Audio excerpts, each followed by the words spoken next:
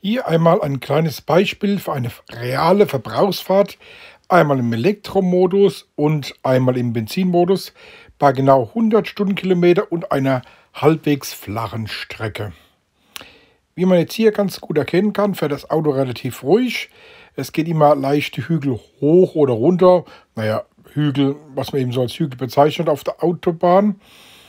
Ansonsten verbraucht das Auto so zwischen 13 und 14,5, 15 äh, Kilowatt auf 100 Kilometer.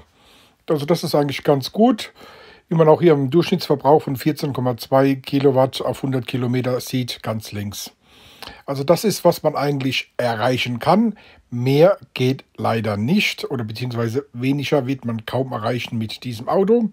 Wenn man natürlich schneller fährt, schneller fährt, geht auch der Verbrauch relativ sehr schnell weit hoch. Aber so mit 100 km/h kommt man eigentlich ganz gut weit. Hier sind also wirklich die 45 bis 50 Kilometer durchaus realistisch.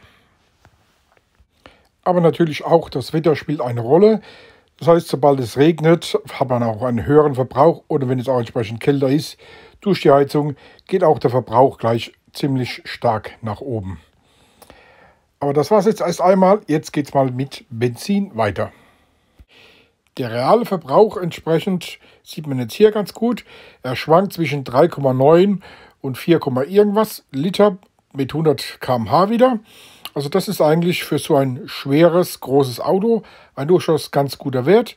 Aber natürlich muss man bedenken, nur bei 100 km/h fährt man entsprechend schneller, geht auch der Verbrauch sehr schnell nach oben.